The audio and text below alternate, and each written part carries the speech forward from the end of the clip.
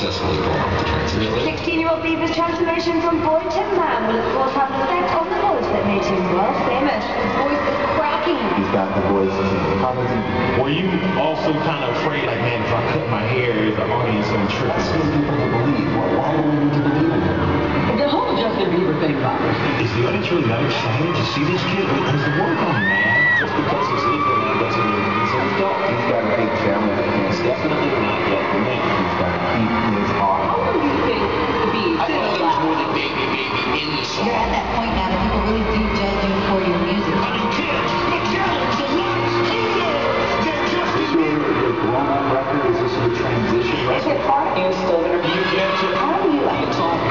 Запиши.